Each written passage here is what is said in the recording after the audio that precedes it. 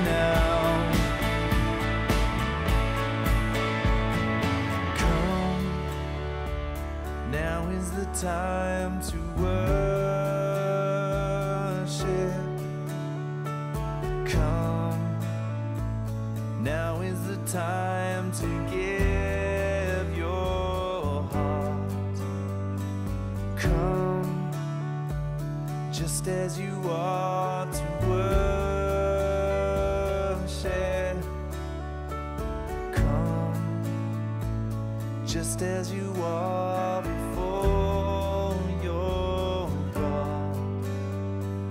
Come.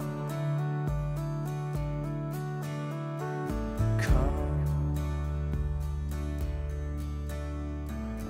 Come.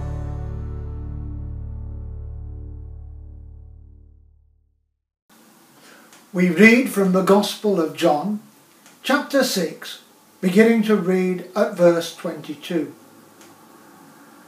Jesus has just taught a crowd and fed 5,000 people with five loaves and two fish. He has sent them away and travelled to the other side of Lake Galilee. This is where we take up the story.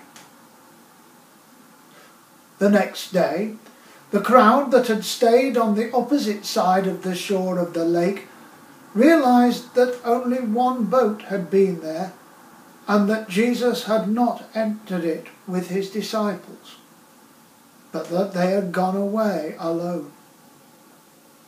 Then some boats from Tiberias landed near the place where the people had eaten the bread after the Lord had given thanks. Once the crowd realized that neither Jesus nor his disciples were there, they got into the boats and went to Capernaum in search of Jesus. When they found him on the other side of the lake, they asked him, Rabbi, when did you get here?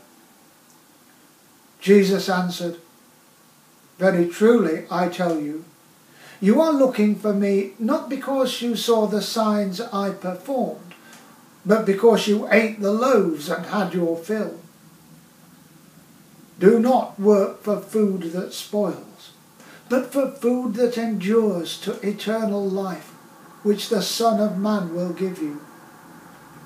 for on him God the Father has placed his seal of approval. And they asked him, What must we do to do the works God requires? Jesus replied, The work of God is this, to believe in the one he has sent. So they asked him, What sign then will you give that we may see it and believe you? What will you do? Our ancestors ate the manna in the wilderness. As it is written, He gave them bread from heaven to eat. Jesus said to them, Very truly I tell you, it is not Moses who has given you the bread from heaven, but it is my Father who gives you the true bread from heaven. For the bread of God is the bread that comes down from heaven and gives life to the world. Sir, they said, always give us this bread. May God help us to understand his word. Amen.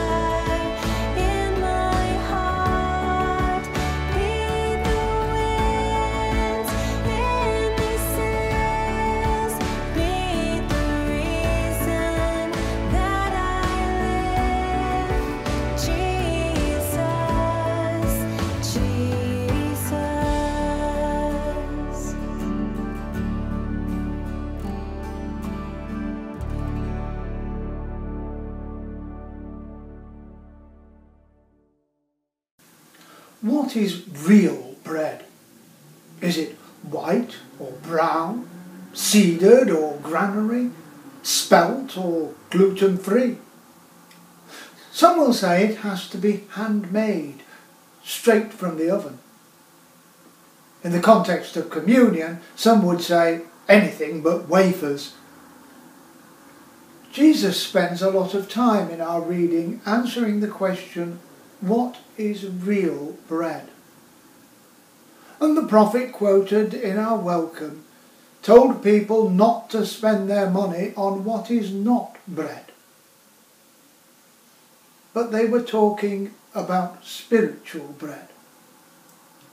So, in the spiritual context, what is not real bread?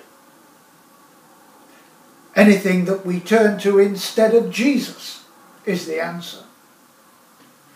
That could be work, possessions, keeping up with your friends, your appearance, your success, the number of followers or friends you have on social media, sport, your house, even your church or your family.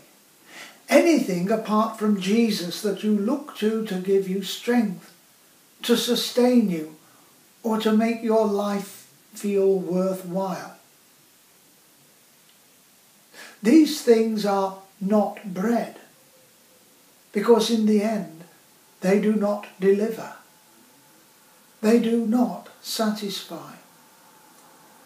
You work hard and dedicate your life to them, but they never quite come up to the mark. You are always left feeling you need more. You may never achieve quite as much as you hoped to at work, or you might lose your job. The possessions you surround yourself with are never quite live up to the hype and are never quite enough. Friends and family and even people at church can let you down. Sport can bring you highs, but also crushing lows. Nothing quite satisfies. Only Jesus is the real bread. Only He satisfies completely. Only He will never let you down. But in order to receive what Jesus has to offer, we need to feed on Him. But how can we feed on Him? We can listen to His teaching as we read Scripture. It's best to use some Bible reading notes or an app which provides a reading and an explanation. The Methodist Church provides a word in time. And a similar service is provided by Scripture Union, the International Bible Reading Association, IBRA, the Bible Reading Fellowship, BRF, and many others. We can converse with God in prayer, listening to Him as well as talking to Him. We can meditate upon God and His Word or turn our minds to contemplation. These are only a few of the ways we can feed on Jesus. There are others, too many to mention them all.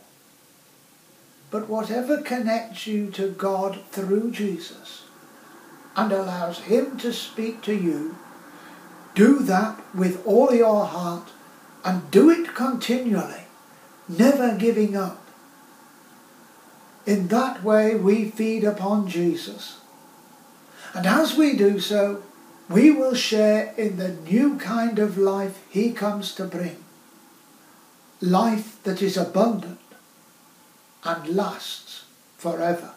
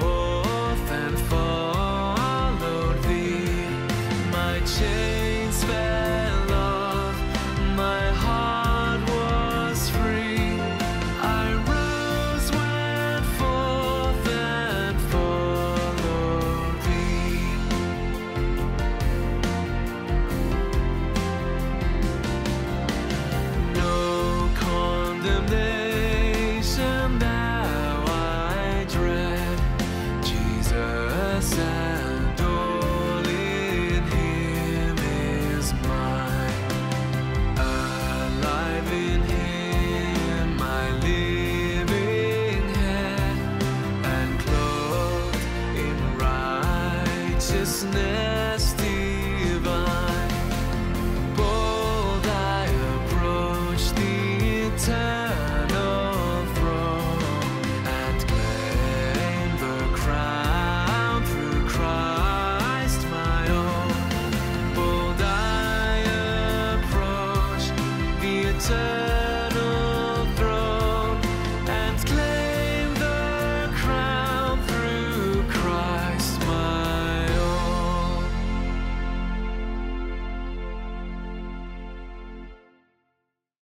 Let us pray.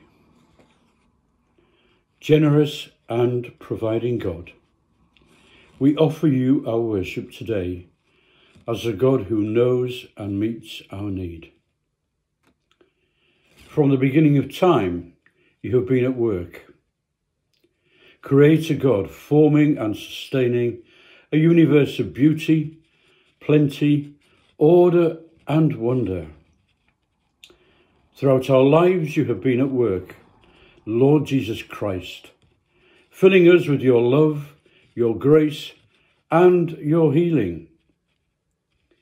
In every moment, you are at work, Holy Spirit of God, energizing us to live and work to your praise and glory. For the times when we have abused your creation, taken it for granted, and spoiled it for others, we say sorry. For the times when we have spurned your love, denied your grace, refused your healing, we say sorry. For the times when we have lived in our own strength and not in yours, marring your image in us, we say sorry. In humility and in wonder, we see your offering of life for us. we hear your words of forgiveness. We stretch out to take the hand you are holding out to us, and we rise cleansed and renewed to live in your power, to your glory. Thanks be to God. Amen. Our prayers for other people. God of all grace, we know that you hear us when we cry out to you. We know that each of your children is precious to you and loved beyond measure. O Lord, hear the prayers of your people and set your people free. Lord, we know that you hear the cries that must be made in silence. Those who live in fear of an abuser, those who are persecuted for their faith, those who are lonely or isolated. Lord, hear the prayers of your people. Hear us and set us free. Lord, we know that you hear the cries of those living in the midst of conflict, those trying to protect their children in war torn nations, those whose domestic situation is marred by constant tension and fear, those who work or live in hostile environments. Lord, hear the prayers of your people. Hear us and set us free. Lord, we know that you hear the cries of the hungry and thirsty, those families who have to make the choice between heating the house and cooking a hot meal, those experiencing the worst effects of the climate crisis and fa- facing drought or crop failure. Lord, hear the prayers of your people hear us and set us free. Lord, we know that you hear the cries of those who spend their days putting on a brave face, those who hide their pain from others, those who feel the need to be strong for someone else. Help us to stand alongside all who cry out for you, not to speak for them or to assume we understand but to remind them that they are not alone. Help us to share a little of your love at all times. Lord, hear the prayers of your people. Hear us and set us free. In your name we pray. Amen.